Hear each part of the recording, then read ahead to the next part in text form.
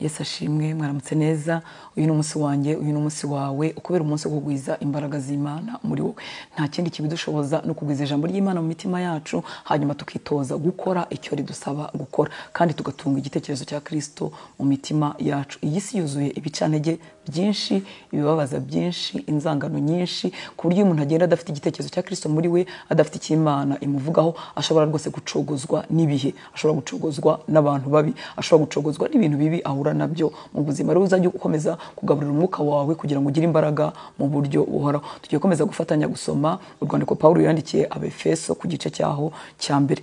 Ku murongo wa gatatu harambwira ngo imana y'umwami wacu yesu kirisito ariyo na se ishimwe kuko duhereye muri kirisito imigisha yose y'umwuka yo mu ijoro iri ni ijambo ryiza kandi ririmo isezerano. Imigisha yose mu buryo bw'umwuka data yarayiduhaye muri kirisito yesu imigisha yose mu buryo bw'umwuka yo mu ijoro twarayihawe. Ni ukuvuga ngo ufite uburenganzira bwo gusenga ufite uburenganzira bwo kurekarama kuko iyi migisha yose mu buryo bwo mu mwuka yo mu ijoro wamaze kuyihabwa niba warizeye kirisito uyu ni umurongo umuntu aba akwiye gufata mu mutwe no mu mutima we kugira ngo abashe kuwusengeramo mu bihe byose kuko wamuhesha ibyiza byose tubikiwe mu mana.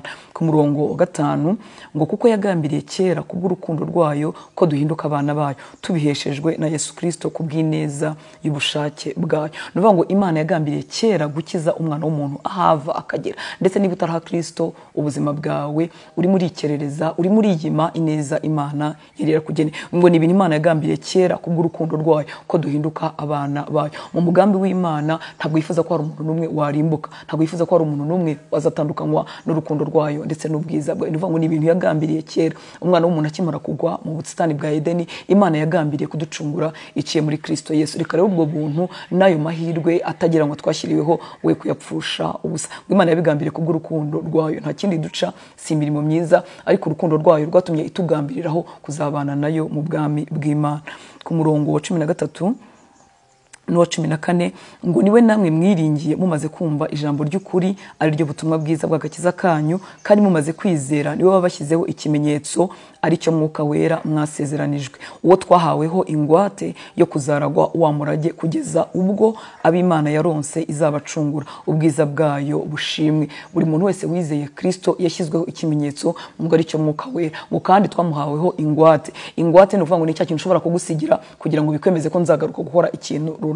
Dufite umwuka wera nk'ingwate bigaragaza ko kirisito azagaruka kudutwara ngo kandi twese twamuhaweho nk'ikimenyetso. Abizeye kirisito iki kimenyetso twese cyashyizwe ku buzima bwacu. Hari abana b'imana benshi bakijijwe ariko bumva ikimenyetso cy'umwuka wera batagifite. Atari umugabane wabo bakagira ngo ni iby'abantu bamwe na bamwe. Twese abizeye kirisito twese abacunguwe n'amaraso yesu twahawe icyo kimenyetso cy'umwuka wera ku buzima bwacu. Ngo ndetse kitubereye ingwate ibyo ntibitumenyesha ko kirisito azagaruka kudutwara umurongo wa cumi na gatanu ngo ni cyo gituma nanjye maze kumva uburyo mwizera umwami yesu mugakunda abera bose mbashimira imana urudaca nkabasabira uko nsenze. Uyu murongo wa cumi na gatanu uratwereka uburyo bari bamaramaje mu mwami.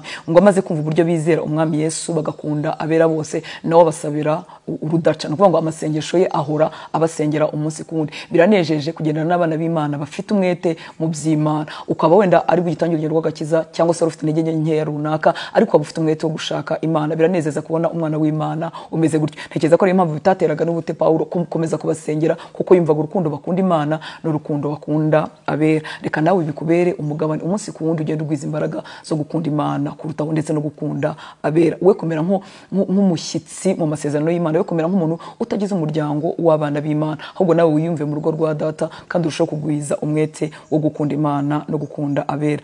Ku murongo wa cumi n'umunani ngo amaso y'imitima yanyu abone uko ahweza mumenye ibyo mwiringizwa. Iri ni isengesho arimo avuga icyo abasabira ngo arabisabira kugira ngo amaso y'imitima yabo abone uko ahweza mumenye ibyo mwiringizwa niyo abahamagaye mumenye n'ubutunzi bw'ubwiza bw'ibyo azaraga abera mumenye n'ubwinshi bw'imbaraga zayo butagira akagero.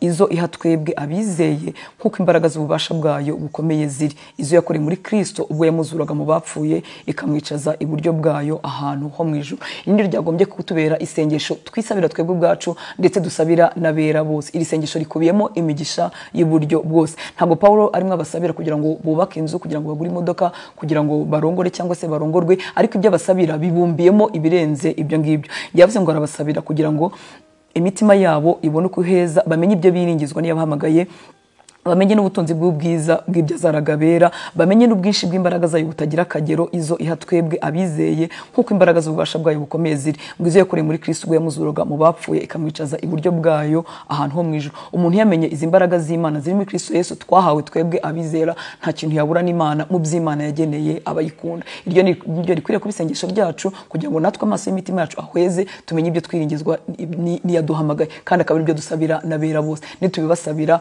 amaso y'imitima yabo agafungukira kumenya ibyo biringizwa n'iyabahamagaye bakamenya izi mbaraga ziri muri kristo yesu zaduhindukiye umugabane. Ntacyo bazaburana imana muri uru rugendo rwa gikristo. Ku murongo wa makumyabiri na rimwe ngo imushyize hejuru y'ubutware bwose n'ubushobozi bwose n'imbaraga zose n'ubwami bwose n'izina ryose rivugwa uretse muri iki gihe gusa ahubwo no mu bihe bizaza. Kandi yamuhaye gutwara byose ibishyira munsi y'ibirenge bye imuha itorero ngo abe umutwe waryo usumba byose. Naryo ribe umubiri we ushyitse kandi ushyikirwamo na byose. Nanone iri ni isezerano rikomeye ku itorero rya kristo. Ni ukuvuga ngo yaha- yashyizwe hejuru y'ubutware bwose n'ubushobozi bwose n'imbaraga zose n'ubwami bwose n'izina ryose rivugwa uretse muri iki gihe ngo ahubwo no mu bihe bizaza. Ngo kandi yamuhaye gutwara byose ibishyira munsi y'ibirenge bye irangije mu itorero ngo umutwe waryo usumba byose naryo ribe umubiri ushyitse kandi ushyikirwamo na byose. Ni ukuvuga ngo itorero ni umubiri wa kristo kristo aribereye umutwe ufite izo mbaraga zose zimaze kuvuga ngo naryo rihinduka umubiri ushyitse kandi ushyikirwamo na byose. Mu yandi magambo ibyahawe umutwe ari we kristo byahawe ni itorero ryahindutse umubiri ushyitse kandi ushyikirwamo